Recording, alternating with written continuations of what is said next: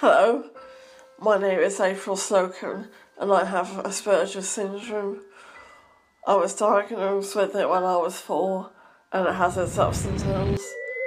The downsides of my Asperger's include becoming anxious about certain social situations and showing frustration when people laugh at things I find unfunny. However, having Asperger's also has its positives such as my interest and talent in looming, which made me contribute to the National Autistic Society's Be Looming Amazing campaign. I can also recite amazing facts about music and animation. Despite the negatives, I will not let Asperger's prevent me from living life to the full.